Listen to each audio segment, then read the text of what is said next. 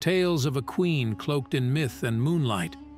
She was Cleopatra, the serpent of the Nile, her beauty as intoxicating as the lotus flower, yet her touch as venomous as an asp.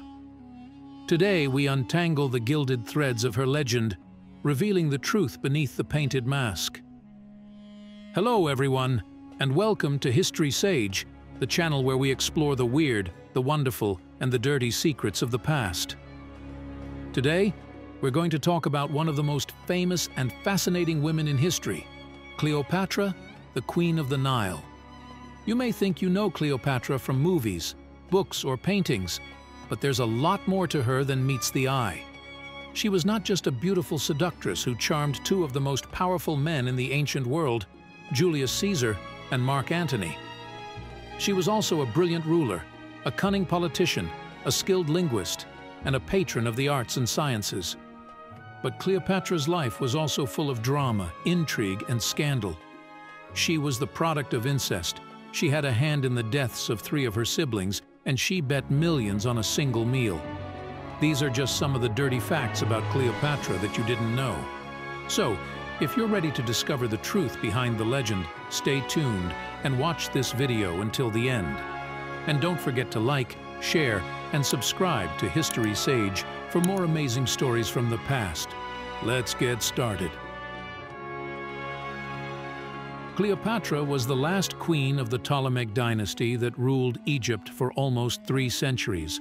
She is one of the most famous and influential figures in history, known for her love affairs with Julius Caesar and Mark Antony, her political and military achievements, and her tragic death by suicide. In this essay, I will discuss some of the lesser-known aspects of her life and personality. Cleopatra was not Egyptian, but Greek. Her family, the Ptolemies, came from Macedonia, a region in northern Greece, and inherited Egypt after the death of Alexander the Great. They adopted some Egyptian customs, such as worshipping the local gods and mummifying their dead, but they also kept their Greek culture and language. Cleopatra was the first Ptolemaic ruler to learn Egyptian, and she also spoke several other languages, such as Hebrew, Arabic, and Latin. She presented herself as the reincarnation of the goddess Isis and tried to win the support of the Egyptian people. Cleopatra was the product of incest. The Ptolemies practiced incestuous marriages to preserve their bloodline and avoid sharing power with outsiders.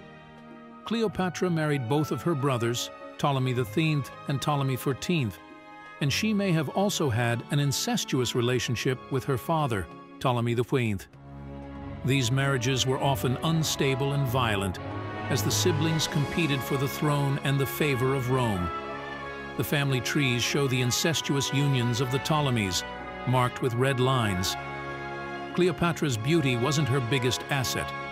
Cleopatra's reputation as a seductive beauty was largely created by Roman propaganda, especially by Octavian, who wanted to portray her as a dangerous and immoral enemy. Her physical appearance was not as remarkable as her intelligence and charisma. She was educated in various subjects, such as mathematics, philosophy, astronomy, and medicine, and she impressed many people with her eloquence and charm. She knew how to use her feminine allure to manipulate and persuade men, but she also had genuine feelings for Caesar and Antony. The coins and statues below depict Cleopatra, and they can be compared with the more idealized portraits that were made later by artists and filmmakers. Cleopatra had a hand in the deaths of three of her siblings. Cleopatra was involved in the murders of her brothers Ptolemy III and Ptolemy XIV, and her sister Arsinoe, who were all her rivals for the throne of Egypt. She used her alliances with Julius Caesar and Mark Antony to eliminate her siblings and she also faced several assassination attempts from her enemies. She was ruthless and ambitious, but she also had to survive in a violent and chaotic world. Cleopatra once bet Mark Antony that she could spend 10 million sesterces on a single meal.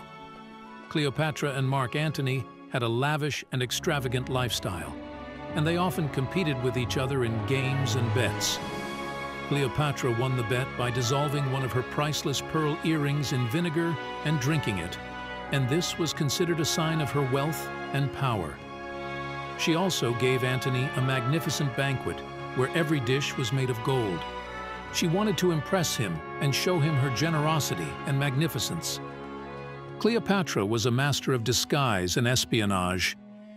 Cleopatra used various methods and tricks to conceal her identity and spy on her enemies, and she also employed a network of agents and informers to gather information and spread rumors. She disguised herself as a servant, a maid, a sailor, and even a corpse, and she also used secret messages, codes, and symbols to communicate with her allies.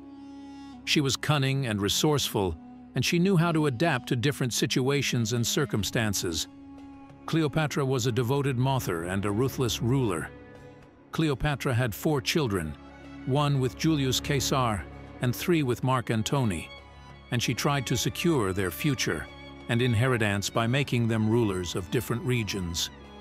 She named her son Caesar Caesarion, meaning Little Caesar, and she claimed that he was the true heir of Rome.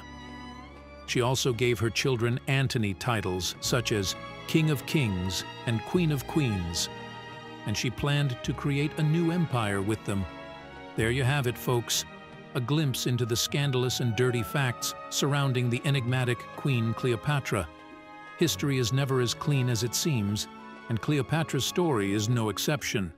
If you enjoyed this deep dive, don't forget to like, subscribe, and hit that notification bell for more captivating historical revelations. Until next time, keep exploring the hidden corners of the past.